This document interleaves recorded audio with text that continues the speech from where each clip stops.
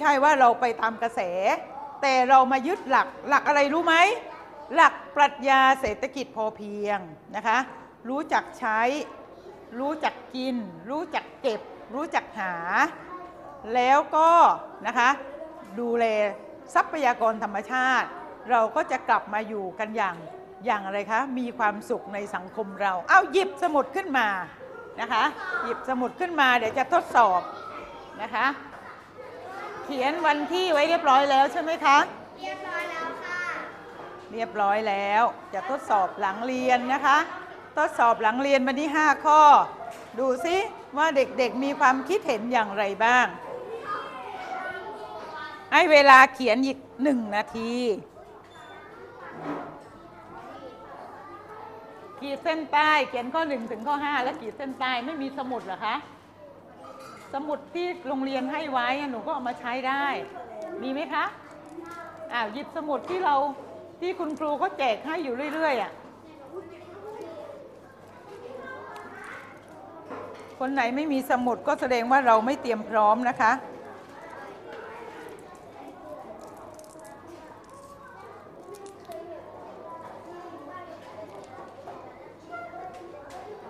เขียนกับมาทดสอบอย่างเดียวนะคะ ไม่ต้องหลังเรียนนะคะ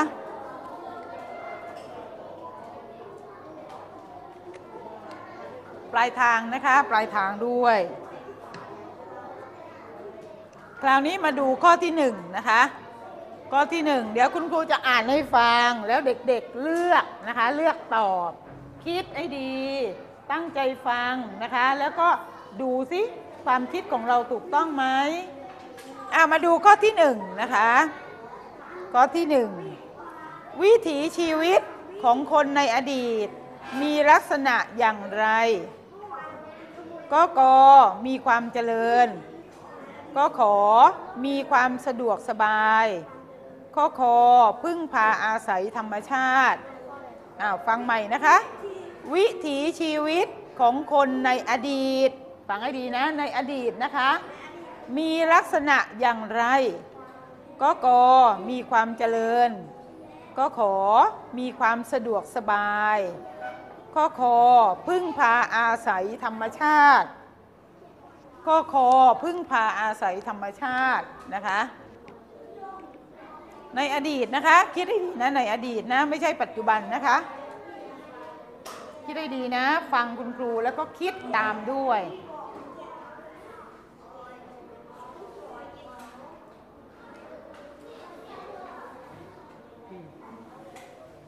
แปะมีสมุดไหมลูก อะหยิบขึ้นมาเลยครับ อะไรคะเนี่ยสมุดนี้ก็ได้เนี่ยสมุดเนี้ยสมุดที่คุณครูก็แจกอะ่ะก็ที่หนึ่งตอบแล้วนะคะ ปลายทางเสร็จแล้วยังเอ่ยอะไปข้อสองนะลูกไปข้อสองนะคะ ข้อที่สองอ้าวฟัง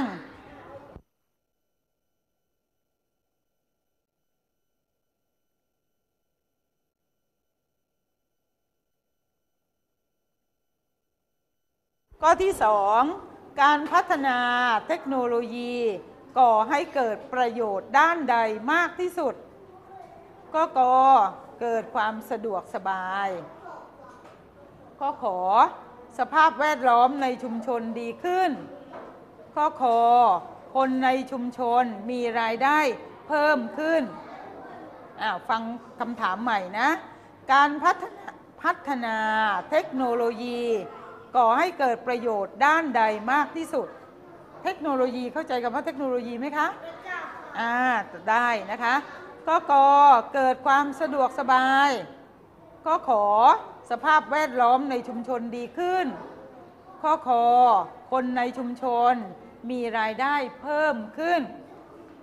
ไหนดูสิ ก็บอกว่าการพัฒนาเทคโนโลยีนะคะ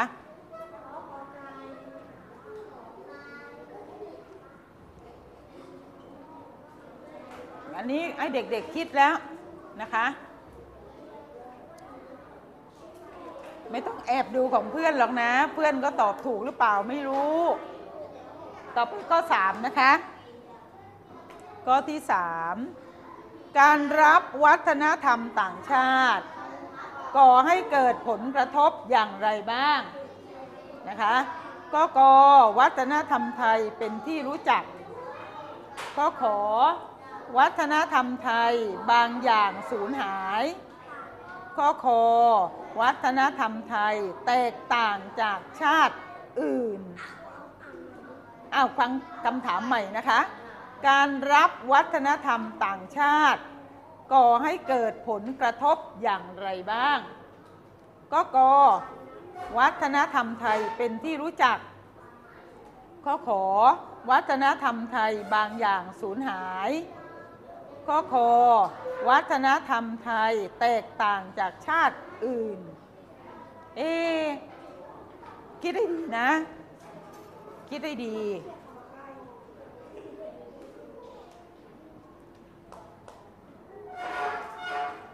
คิดแล้วก็ตอบดูสินะคะ ถ้านักเรียนตอบถูกแสดงว่าเด็กคิดเป็นถ้าตอบผิด ก็แสดงว่าเรายังไม่เข้าใจก็เป็นการอะไรลูกก็ไปฝึกฝนเรียนรู้ใหม่ ก็ที่สี่ค่ะมาฟังดูนะ ตอนนี้เรื่องของชุมชน การเกิดชุมชนแออัดก่อให้เกิดผลกระทบอย่างไร ก็กอสภาพแวดล้อมเสื่อมโทรมก็ขอคุณภาพของคนในชุมชนดีขึ้นข้อคอ เกิดความปลอดภัยในชีวิตอ้าวฟังใหม่นะคะ การเกิดชุมชนแออัด เข้าใจว่าชุมชนแออัดไหมอ่าเข้าใจนะคะก่อให้เกิดผลกระทบอย่างไร ก็กอสภาพแวดล้อมเสื่อมโทรมก็ขอคุณภาพของคนในชุมชนดีขึ้น ข้อคอเกิดความปลอดภัยในชีวิต ชุมชนแออัดก็แสดงว่าเป็นไงอยู่กันเยอะๆ อยู่กันจำนวนมากนะคะ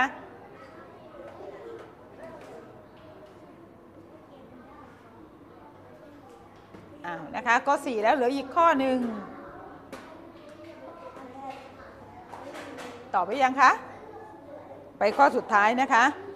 ปลายทางคงทันนะคะอ้าวมาฟังข้อที่ 5 ข้อสุดท้ายนะคะ ข้อใดไม่ใช่ นะฟังให้ดีนะ ไม่ใช่ ไม่ใช่สาเหตุของการเปลี่ยนแปลง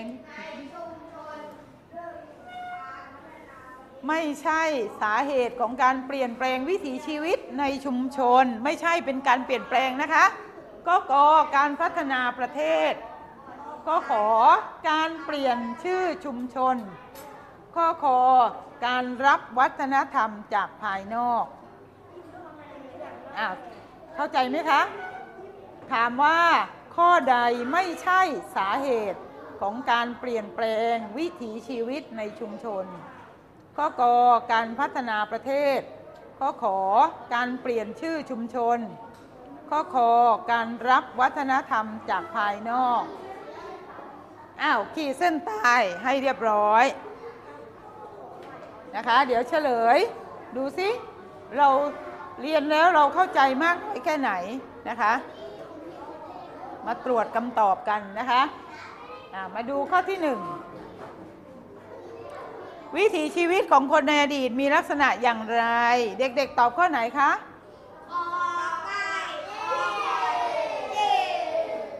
คำตอบคือข้อคอพึ่งพาอาศัยธรรมชาตินะคะ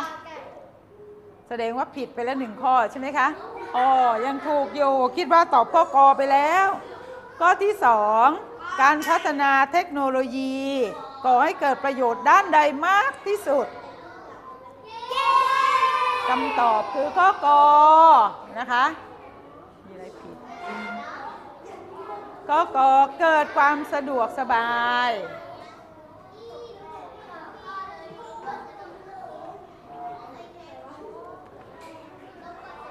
บ้างอ่ามาดูนะคะ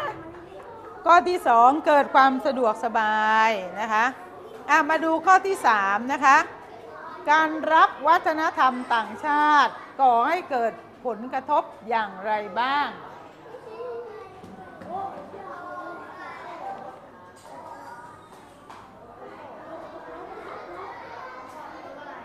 คำตอบคือข้อไหนคะ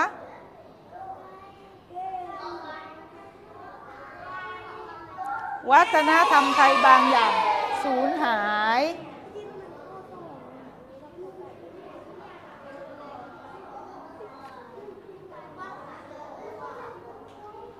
ต่อไปข้อที่ 4 นะคะ ข้อที่ 4 การเกิดชุมชนแออัดก่อให้เกิดผลกระทบอย่างไร ผลกระทบอย่างไรคะ สภาพแวดล้อมเสื่อมโทรมนะคะ สภาพแวดล้อมเสื่อมโทรมคำตอบ ใครที่ผิดก็ไม่เป็นไรนะลูก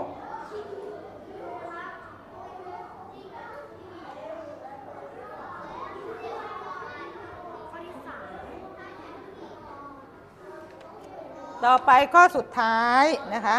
ข้อสุดท้าย ข้อใดไม่ใช่สาเหตุของการ